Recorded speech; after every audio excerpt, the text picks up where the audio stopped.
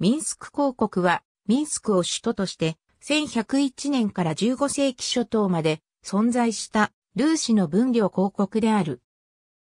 PVMIs DLOKGSKI TN ポロックとその分量広告 P、ポロツク広告 V、ビテプスク広告 L、ルコームリ広告 D、ドルツク広告 O、ロゴジュスク広告 M、ミンスク広告、アイズ、イジャスラブリ広告 G、ゲルチケ広告 K、クケーノス広告周辺の主な広告 S、スモレンスク広告 KI、キエフ広告 N、ノブゴロド広告 T、トゥーロフ広告1101年、ポロック公フセスラフが死ぬと、ポロツク広告は、フセスラフの子らによって6の分量広告へと分割された。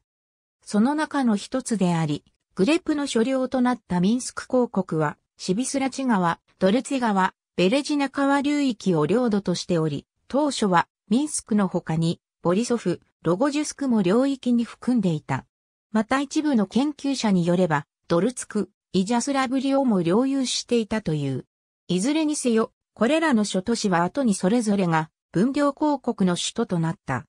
グレプは、その統治期において、他の兄弟たちの所領となった諸公国を手中に収めようとしたため、ミンスク公国もまた何度かの激しい侵略を受けた。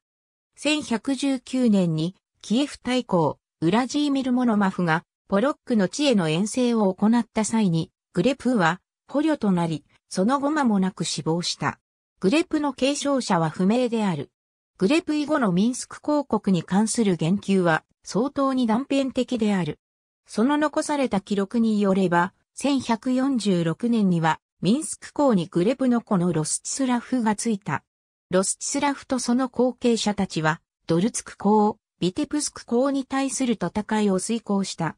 また、1164年には、ロスチスラフの兄弟のボロダリが、リトビン人の助けを借りて、ポロック公ログボロドを破った。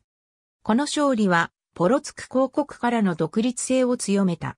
13世紀の後半になると、ミンスク公国に対するリトアニア大公の影響力が増加し、最終的にはミンスク港はリトアニア大公国の風神となった。ミンスク港に関する最後の言及は、1326年のバシリーという人物についてのものであるが、この人物の出自は明確ではない。またこの1326年までには、ミンスク公国はリトアニア大公ゲディミナスの従属下に入った。